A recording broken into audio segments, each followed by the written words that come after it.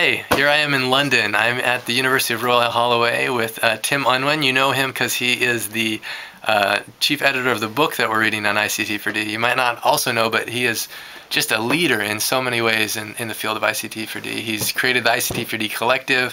Uh, there's a center now that has been created a lot, a lot through his initiative, his involvement. Just recently returned from the ICTD um, conference in Doha that was keynoted by Bill Gates, and I hope he'll give a summary of that when he talks to us as a class. But I wanted us to make the most use of our time with him, so I'm just creating this little clip so he can just just prepare you for for our time. So here's just a couple questions. So here's Tim. Hi Clint. Hi guys. Nice to be with you. Looking yeah. forward to next week. Yeah. So you're going to be talking with us um, 20 uh, about 35 uh, graduate students from 20 different countries and uh, talking about this topic of ICT for D. What what kind of how do you want to make the most use of that time? Is there certain questions you want them to think of in advance, or or you know how how do you want to make use of that time together? I think we've only got a couple of hours, and, and it's really, really important that everyone there thinks of the key questions they would like to ask.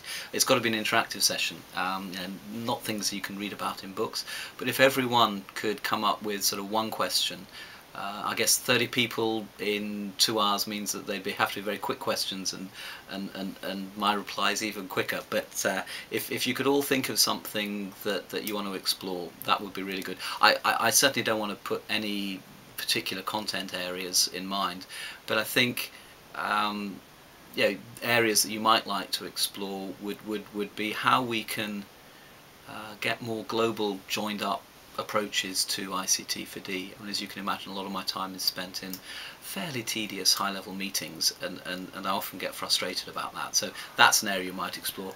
And, and I guess another thing that I would like to get out of it is, and I know you've, some of you have had problems in getting hold of the ICT for D book, um, let's forget about the sort of the technical aspects of it, it arriving on your uh, laps so you can read them.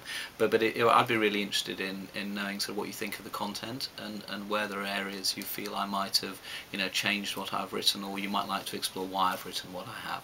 Yeah, so, and knowing Tim, he doesn't want it to be like some kind of you know platitudes or something. You can be controversial. You can challenge him. You can say. not say, too cruel. You know, even aged professors bleed. You know, don't forget that. Okay, so the second question I had for you, Tim, just because we have you here with us, you know, I'm fascinated by how much you do, you know, and how how you know the difference that you have made. But what is the ultimate outcome that you see from your work? Like, what what do you want to have created you know, through all the things that you're doing.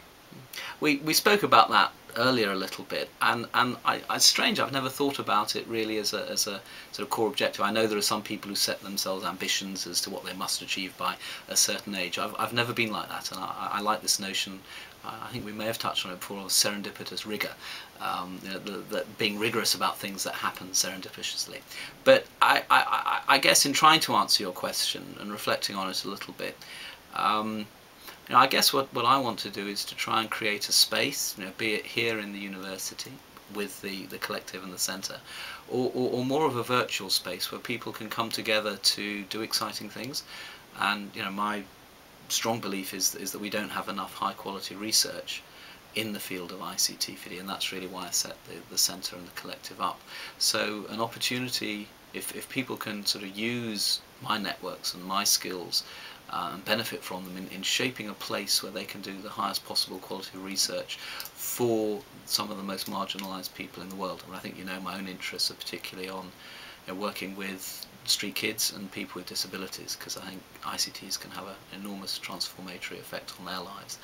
Um, but but that's my focus, and and if we can just you know create an environment where people can explore the exciting things that are happening at the edges of disciplines, um, and ask the difficult questions and come up with innovative answers that will really make an impact um, on the lives of some of the poorest people in the world.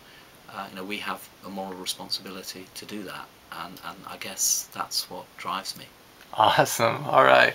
So I guess the challenge for us then is to come up with very good questions so we can make the most use out of our time with Tim. And just thank you so much, Tim, for, for both the effort that you put in so far and for the time you're going to spend with us. Look forward to it very much.